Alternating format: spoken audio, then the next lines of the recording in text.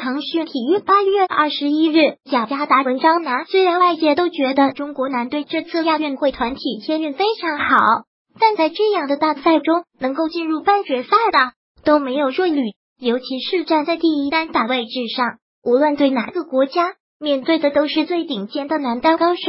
而今天刚刚担任一单的石宇奇就遭遇了这样的冲击，在输给中国台北选手周天成之后，石宇奇说。自己太累了，因为一单的压力，而曾经在这个位置上遭遇过冲击，也体验过失败的陈龙，更希望能够用自己的感受开导师弟。想到世锦赛涉险击败周天成之后，这场比赛肯定会是一场硬战。但是在今天的比赛中，石宇奇却很难看到太多精彩的发挥，甚至打不出任何的气势。在昨天首场比赛中。他还说，第一次站在团体赛一单的位置，自己最看重的就是要打出气势。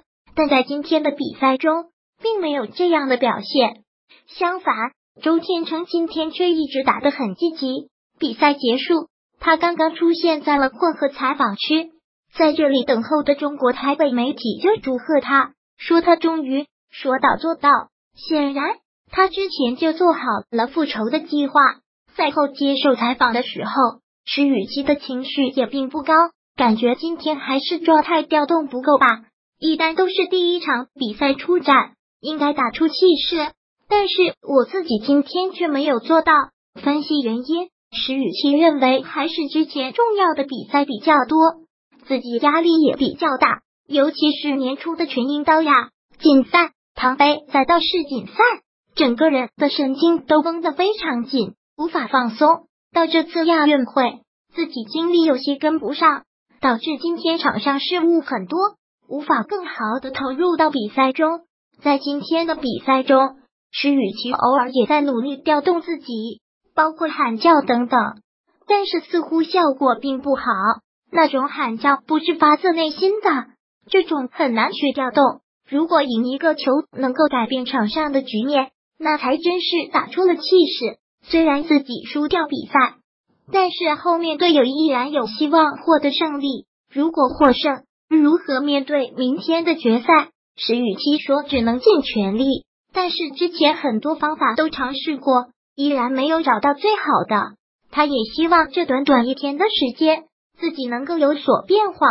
刚刚上到一单的位置，石宇奇在团体赛中面对这样的压力，依然能够被理解。而在今天晚些时候，也是跟中国台北选手王子维战满三局，最终胜利的陈龙，似乎对于师弟的输球更有说服力。其实，早在今年汤杯之前的亚锦赛上，陈龙原本有可能不再去打一单，但是他因为深有体会一单的压力，担心师弟承担不了，所以在亚锦赛上一直争取胜利，最终还是扛下了汤杯一单的大旗。而这次亚运会也是因为石宇奇击败了自己，排名上升，自己才掉到了二单的位置。我是觉得男团竞争对手非常多，我们总是会觉得为什么一单没有顶住压力。现在每个国家第一单、二单都很不错，包括印尼。我们应该去正确的看待全世界男单的格局，不是说我们要去扛住压力，这种压力太大了。虽然我们通过努力把汤杯拿回来了，到了亚运会，我们应该尽可能的放低位置，这样更舒服。陈龙希望队友们不要因为是中国队，有一个就应该被冲击的心态，团体赢就行了，输赢都是一个团队。The end。免责声明：本文来自腾讯新闻客户端自媒体，不代表腾讯网的观点和立场。